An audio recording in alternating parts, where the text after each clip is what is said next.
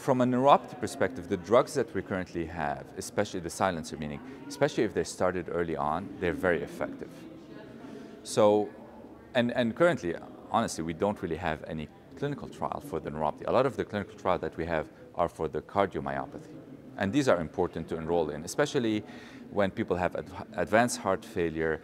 Uh, you know, they need something. You know, the question is removal of the amyloid with the antibody uh, or the silencer, are they more effective than the stabilizer? These are very important questions. Um, so I do tell my patient, you know, if you have, look at the cardiac trial, see if you qualify, and see if you can enroll. These are obviously very important. From the neuropathy perspective, it's very easy. We don't have any clinical trial. But, the, but what's important, I think, there's some trials for prevention. So people who are carriers of the gene, who are pre-symptomatic, they haven't developed symptoms yet.